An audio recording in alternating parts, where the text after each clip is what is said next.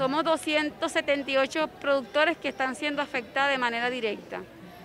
Y hace eh, tres meses que culminó Zafra, ¿verdad? Y hace eh, seis meses que está la denuncia aquí ante la Asamblea Nacional. Hemos hecho acciones de protestas en las calles y el gobierno de allá sí, del municipio se hace la vista gorda, no nos, no nos ayuda porque es, la azúcar, la caña de azúcar ya es parte de la producción del municipio, de la, economía de allá, pues.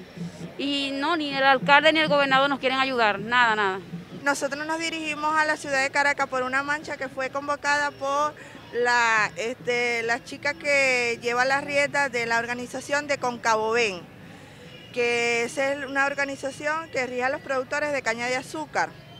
Esa marcha se iba a dar el día lunes, pero no se pudo dar.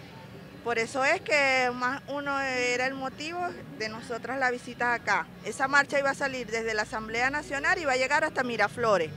Todos los centrales de Venezuela se iban a reunir en esa marcha. Esa marcha fue suspendida porque iban a hacer supervisiones a las industrias. Ayer recibimos una información que según el, el ministro de Agricultura y Tierra llega esta semana allá nuestra a nuestra comunidad. Necesitamos ayuda de verdad porque él sigue eh, maltratando al pueblo de allá en Cumanacoa, sigue arremetiendo contra los campesinos y bueno, aquí está la Comuna de Cinco Fortaleza conjuntamente con eh, cañicultores afectados y bueno, a ver qué, de qué manera nos pueden ayudar. Pues. No hemos visto mucho avance, mucho avance porque ya esta es la tercera vez que estamos aquí en Caracas con nuestros propios recursos, pidiendo, porque en verdad no tenemos, estamos con nuestro propio esfuerzo. Y ahorita, eh, ayer conversamos con Alexis Rodríguez Cabello y él va a hacer un informe general de todo lo que ha acontecido y lo va a, introducir a la, a la, fiscalía vía una alianza entre dos corporaciones, eh, Tecnoagro y que es del empresario y Corpo Sucre que es el del Estado.